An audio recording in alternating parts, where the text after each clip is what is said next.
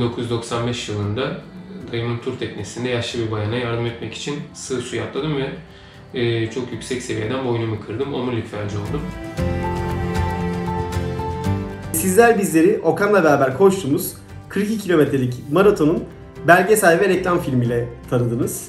E, bu bir imkansızlık öyküsüydü. Bu bir umut öyküsüydü. Ve e, bu maratonun sonunda bizlerin ayrıca birçok hedefi ve hayal oluştu. Fakat ülkemize korona geldi. Yarışlar iptal olmaya başladı. E, beraberce antrenman yapabilme imkanımız ortadan kalkmaya başladı. Tabii bu bizi yıldırmadı açıkçası.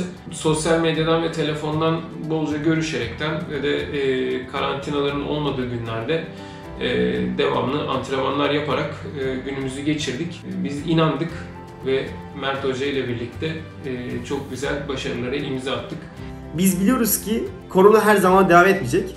Eski güzel günler geri gelecek ve tekrar o güzel günlerde çalışmaya devam edeceğiz. Sizler de umudunuzu kaybetmeyin ve hayallerinizi, hedeflerinizi sürdürmek için çalışmaya devam edin.